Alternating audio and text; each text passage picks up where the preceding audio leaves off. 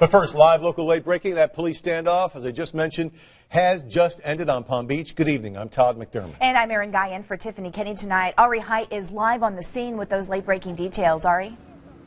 And you can see we're now off the beach. We're showing Ocean Boulevard behind me now, and that's because this standoff ended just a couple of minutes ago. It had been ongoing since around 1.50 this afternoon, almost about four hours. Let's go ahead and show you some video. As a gentleman standing on the beach. He actually was a about, about waist deep in the ocean, actually. He was holding a knife to his chest. He was threatening to kill himself.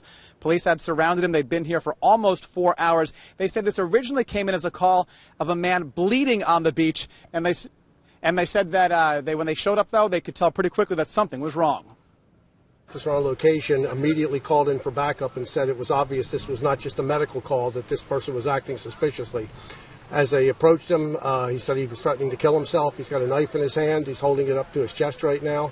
And apparently he's wanted for a crime that happened earlier today in Boca Raton. Boca Raton police are here with us, uh, as are hostage negotiators from West Palm Beach Police Department early.